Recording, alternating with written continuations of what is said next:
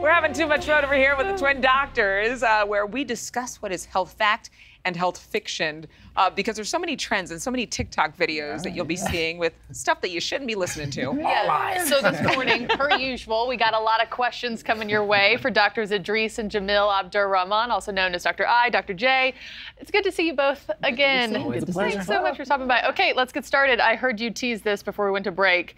And I gotta know, true or false, you should eat more bread and pasta to lose weight and build muscle. I'm to say true.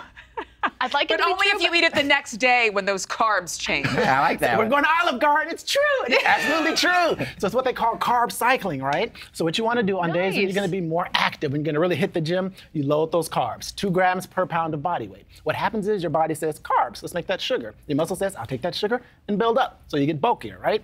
Then you do carb deprivation. Eat like half a gram of carbs per pound of body weight. That's not a lot of sugar. So then your body's like, let's burn some fat. So then you start to shred. So absolutely, let's go to Olive Garden. Let's eat some bread. Let's Oh, eat some yes. pasta. Never Let's ending get- bread. I you know, go. right? Some salad there, that dressing. I, do, I uh, drink some I, oh, I really do like some Olive Garden every once in a while. Me too. True or false, women are more likely to experience premature hair graying during pregnancy, and they should not dye their hair. I'm going to say true. You shouldn't dye your hair while pregnant. This is a two-part question. That's what makes it confusing. all right? Uh, I'm gonna go with true. So it is true that women do experience uh, premature graying of the hair. So what basically happens is the pregnancy hormone confuses your thyroid gland, your thyroid gland gets sluggish, and you get premature graying. So basically graying before 35. So that part is true. However, it is false. You don't have to avoid dyeing your hair. So this is the thing. They've actually done animal studies on non-human animals where they bombarded them with a lot of the chemicals that you see in hair dyes. No teratogenesis, no malformations whatsoever.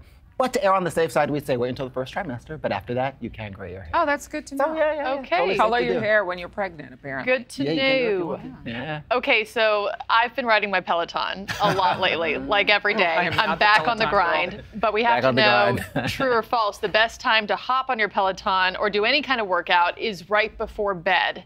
Hmm. I'm gonna say false. I'm going to say false as well because I need to sleep, and that's going to jack up my energy level. Exactly. Exactly. So it is. It, that is false. That is false. The best time is in the morning between seven and nine when you're working. Unfortunately, Uh, yeah, Between not seven an and option for nine. us ever. That's the best time. So when you wake up, you're fasting, right? So again, we're going back to that sugar. So your sugar levels are lower. So when you start hitting that gym, your body's going to burn some more of that fat, right? So that's the first thing. Second thing, you know, when you get done, when you get off your Peloton, you feel all jacked and you're feeling good. I do, yeah. Your metabolism I'm is high. high. Your metabolism is high, and so you're gonna be burning more calories throughout the day, and hey, you just feel good. So people carry those healthy habits throughout the day. You don't do that bagel thing that we just did. Yeah. You get off your Peloton, you're like, it's not worth it. You'll feel So- sluggish. Exactly. I did that in commercial break. Yeah, she ate some bagel. Okay, we have three more office. questions. I don't want to get to all of them, so we're going to do like lightning round. Bingo. Okay? Okay. True or false? If you want more accurate blood pressure readings, you should not be lying down when taking them. Uh, true? No. True. No, that's false. You should be lying Ow! down. Lying down is when your blood pressure is its highest, and that's the blood pressure you want to check. So Okay. when you're lying down. Okay.